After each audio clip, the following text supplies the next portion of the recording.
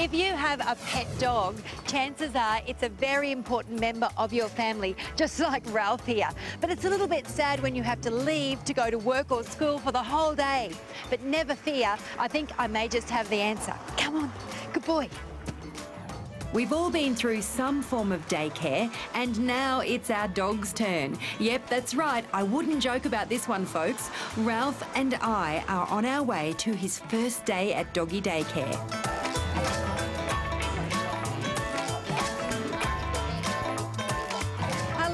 Carly. This is Ralph, his first day at doggy daycare. How are you?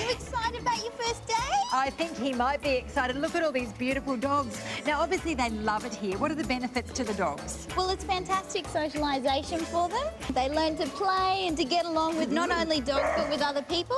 There's all different shapes and sizes, so with so many, they all seem to get on pretty well. So it, it must Yeah. be good to, to get used to other dogs as well. Yeah, they get along fantastic. We do seem to get a bit of a sixth sense as to who's going to get along. It's just experience. Yep. Mm. Okay, would you mind if I have a little little look before I leave and leave him here for the day? No, that'll be fantastic. You look like you're around. right at home. At any given time, this doggy daycare heaven can have as many as 40 pooches in attendance. And as you can hear, when they all get excited, it can be pretty loud.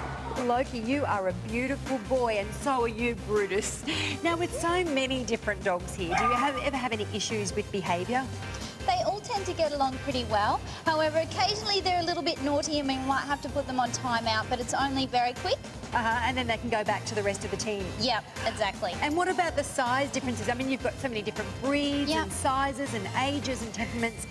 How, how do you work it out, like the dynamics of the group? Sure, we do tend to separate them between big dog and little dog.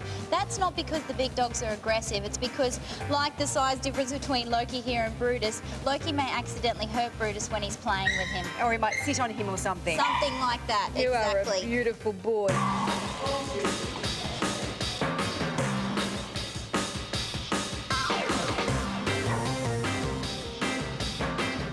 Bella looks like a little princess in her castle. yeah, she certainly does. Now, there's just dogs doing whatever here, but obviously there's structure to the day here at Doggy Daycare. Mm-hmm.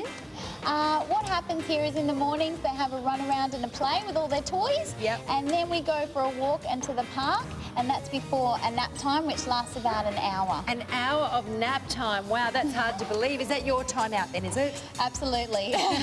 okay, what happens when they wake up? uh, when they wake up, we do all the bars, the hydro baths, or they might get a haircut as well. Wow, are you tired at the end of your working day? We certainly are, but it's a labour of love. I wouldn't do anything else. Oh, that's beautiful. And they certainly enjoy it. Well, I'll tell you, I'm a little bit exhausted just hanging out with all of these amazing dogs for just a little while. And you are beautiful. I don't know where Ralph is. He has certainly settled in. Can he come back tomorrow? Absolutely, we'd love to see Ralph.